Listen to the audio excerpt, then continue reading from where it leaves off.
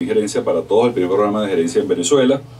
Hoy eh, está con nosotros el doctor Andrés Guevara, quien es abogado y periodista de la Universidad Católica Andrés Bello y quien es miembro de CEDICE, de CEDICE Joven.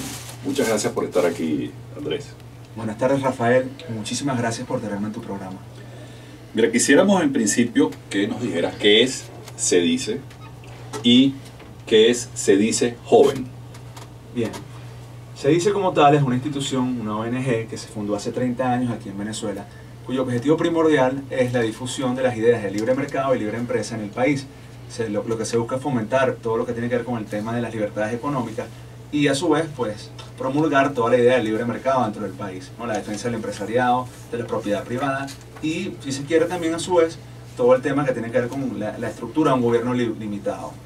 En cuanto a lo que se dice joven, es su apéndice pues relacionado con todo lo que es el tema juvenil. Básicamente la idea es que todo lo que promulga se dice pues también se puede llevar a las personas más jóvenes dentro del país. ¿no? Y se dice joven, ¿qué actividades realiza para cumplir esta misión? Fundamentalmente eh, el, el, pináculo de lo que hace se dice joven es el círculo bastial que es un círculo de lectura, valga la redundancia, a través del cual se fomenta el estudio de autores liberales cuyo objeto es pues, generar la doctrina necesaria para poder tener un cabal entendimiento de todo lo que es el libre mercado, la defensa de la propiedad y el empresariado dentro del país.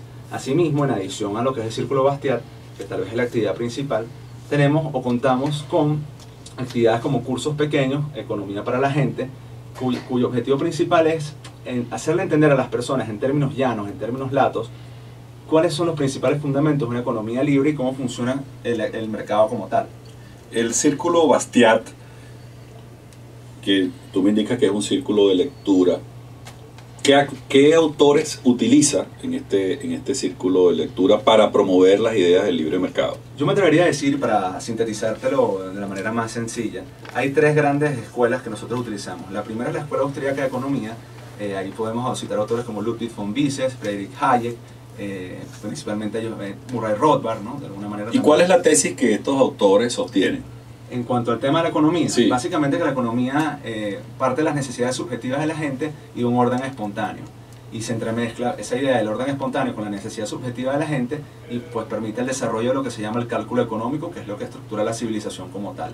¿Hay ejemplos prácticos de la aplicación de estas escuelas de economía? Eh, en, esos países.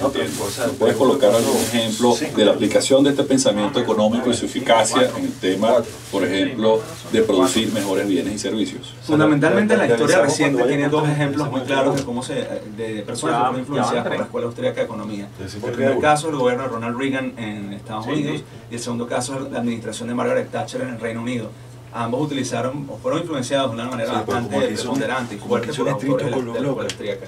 Asimismo, utilizaron autores que también nosotros eh, empleamos, que son autores de la Escuela de Chicago, tal es el caso de Milton Friedman, pues que también eh, han, sido ampliamente pues, difundidos. ¿no? Yo, diría que son ejemplos claros en la vida de, los gobiernos que han sido eh, influenciados en cuanto a este tipo de pensamiento. ¿no? Bueno, muchísimas gracias Andrés por estar aquí en Gerencia para Todos. Bueno, les invitamos a visitar la página web de Cedice, que es www.cedice.org. También en nuestra página web gerenciaparatodos.com pueden tener información ampliada sobre la entrevista que hemos realizado el día de hoy con el doctor Andrés Guevara, que es representante de CEDICE Joven. Muchísimas gracias por estar aquí con nosotros. Gracias a ti, Rafael, y gracias a todos los que permitieron estar aquí en este programa. Seguimos en Gerencia para Todos, amigos.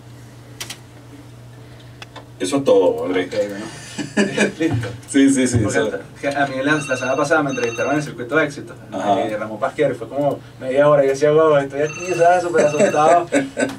Oh, no, no, no, no, no, no, esto, esto que vamos a tener secciones y estamos invitando a varias personas que se dice. Okay. Entonces, la idea es que cada semana, ah, esto es un segmento semanal, cada semana por ejemplo, estamos esperando a Rocío, posiblemente vamos a entrevistar al, doctor Rafael Alfonso, y así otros colegas que, que, que de, de, ese disco. Entonces, bueno, muchísimas gracias. No, gracias a ti. Y una pregunta, este, ¿esto usted me lo puede enviar por audio para poder divulgar? Sí, sí, claro, claro, claro, claro. Mi segmentico, ahí va, tú sabes, aquí está mi segmento, ah, ¿qué tal? Wow. ¿No? no mandamos el programa cuando Sí, nosotros lo colocamos en, en, en, YouTube. Ah, ok. Y, okay. y, y, inclusive le colocamos imágenes, el logo Ah, ese dice y tal, entonces vas a... Bueno. En lo que tengas eso, nosotros te lo enviamos y, y nos ayuda a retuitearlo. Por si- con, con muchísimo gusto. Bueno, gracias Rafael. este, Bueno,